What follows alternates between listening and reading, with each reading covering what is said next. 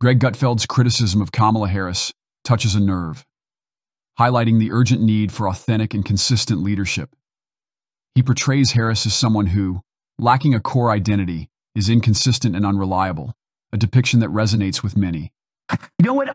I think we're I think we're making a mistake when we're talking about changing opinions. You don't change your when you change your clothes, you don't change your opinion.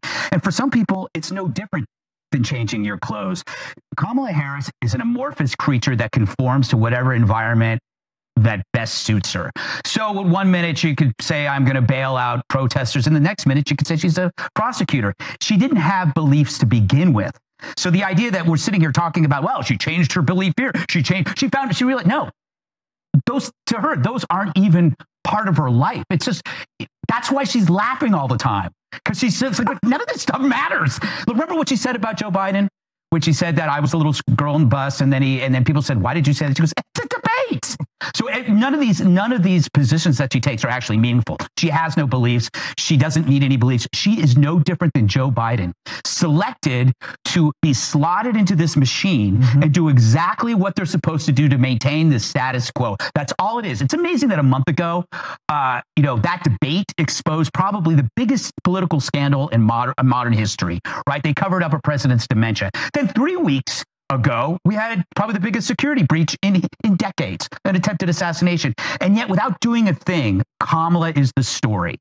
She's done nothing. She said nothing, yet she is the story. That tells you that the machine is doing all of it. She's just a constant variable. It doesn't matter. She's having fun because she knows everything is taken care of, right? She's like a tourist in the backseat of a Vegas limo with a roadie Long Island iced tea on the heading to the casino to play with the house chips, right? But the Republicans, and this is the key point, they have to show up because the fact is, if you do not confront the Democratic Party with the dementia cover up and who participated in it, which was her, you she's going to get away with it. They were driving full speed into that story. And if the Republicans don't confront them and say, she was behind this because she knew she would get the nomination. She knew she would get the nomination if this happened, if they covered it up. That's the story.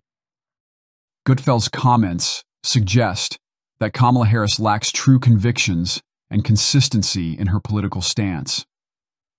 The public is inclined to agree with his assertion that she adapts to whatever is politically advantageous.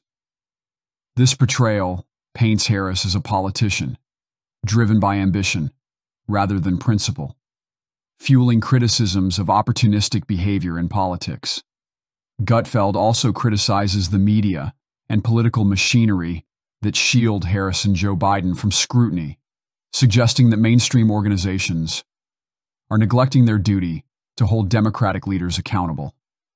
Focus is placed on the authenticity and integrity of Harris's actions and statements. Gutfeld's claim that she lacks true faith is seen as a critique of her genuineness. The public values authenticity and the courage to make choices that reflect one's true self over succumbing to external pressures. Gutfeld's argument is that Harris does not live authentically, instead, shifting her positions to fit her political needs. This perceived lack of authenticity is seen as a significant flaw. By depicting Harris as an amorphous creation, Gutfeld implies she is so adaptable that she lacks a core identity.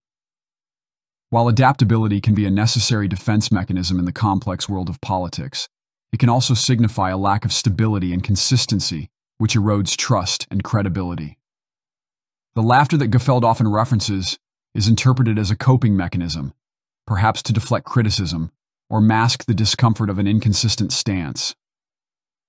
The public appreciates Gutfeld's critique, seeing it as a reflection of their own concerns about Harris's authenticity and credibility.